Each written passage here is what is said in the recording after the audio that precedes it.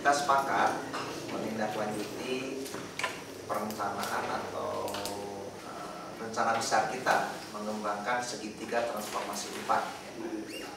Karena kita punya tiga kampus utama walaupun ya sekarang juga harus kita hadapi kampus keempat yang ada di Pangandaran Jelang tutup tahun 2016, Jumat 30 Desember 2016, Rektor Unpad Profesor Tri Hanggono Ahmad menggelar rapat koordinasi dengan sejumlah pimpinan dan tim pengembangan kampus Arjasari di Gedung Sanggar Penelitian Latihan dan Pengembangan Pertanian Arjasari.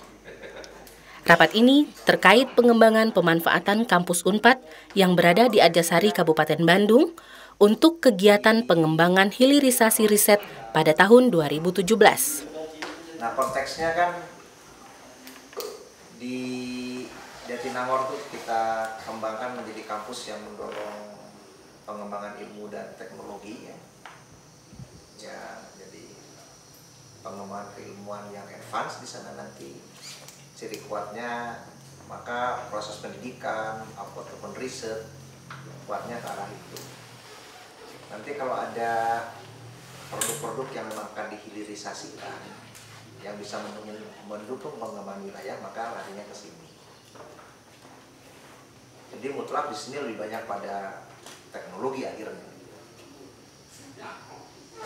Nah, terhadap wilayah yang sudah kita sepakati ya seluruh bidang ilmu kita bisa terkait. 2017 ya, tahun depan itu tahun yang berarti untuk empat karena kita akan berulang tahun ke 60 di saat kita punya tahun berarti ya mari kita jadikan momentum untuk memberikan arti juga gitu.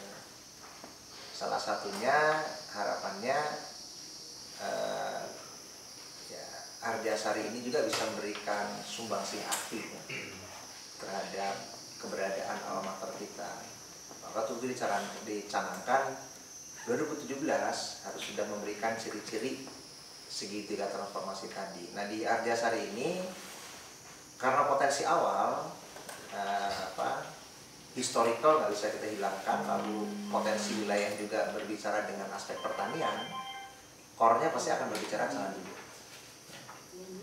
Karena berbicara pengembangan wilayah, berbicara hilirisasi, maka kunci penting awalnya sebetulnya eh, berbicara kegiatan-kegiatan hilir tadi seperti halnya Jatinangor sekarang yang didorong motornya riset.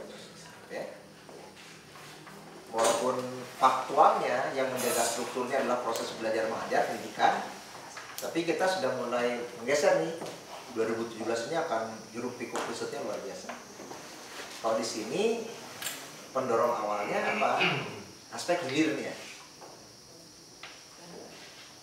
Hanya karena ini adalah kampus ya, berbicara, berbicara kegiatan transformasi semua kegiatan Tridharma juga ada.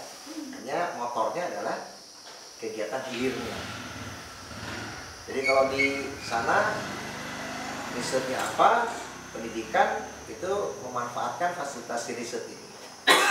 Kalau di sini nanti pendidikan atau riset yang berkembang dimulai dari aspek aplikasinya.